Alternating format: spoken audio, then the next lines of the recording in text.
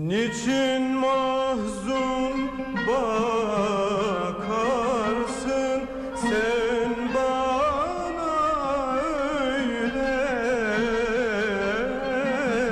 Sen bana öyle. Nedir küskünlük